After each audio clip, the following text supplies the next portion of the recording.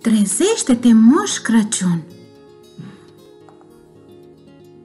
Crăciunul se apropie și moșul se pregătește să plece spre casele tuturor copiilor cu minți din lume. Are multe lucru, dar prietenii lui Reni îl vor ajuta ca în fiecare an. Și ia că seara ajunului a sosit.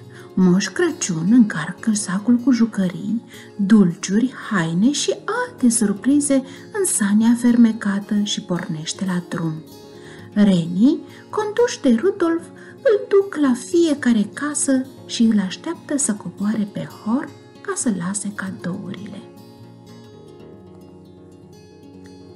Dar într-o zi, ce credeți că s-a întâmplat?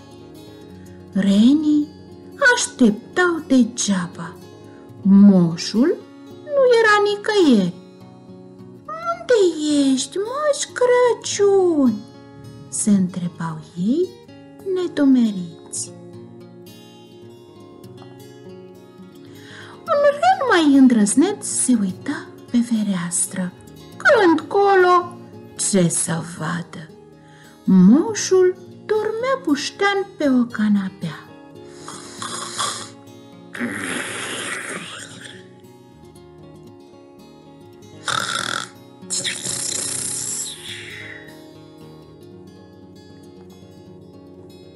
Toți renii au început atunci să lovească cu cornițele în geam.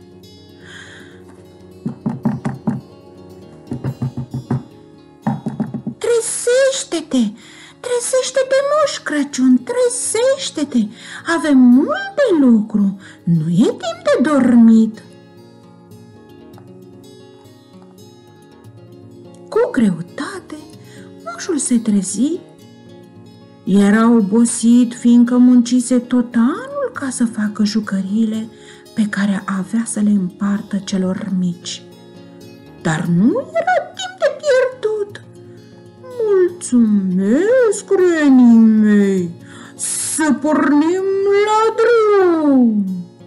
Și Moș Crăciun urcă în sănioara condusă de reni ce avea să îl ducă prin lume spre casele copiilor cu minți. Ei, dacă ați fost și voi cu minți, cu siguranță va veni și la voi, dragi copii.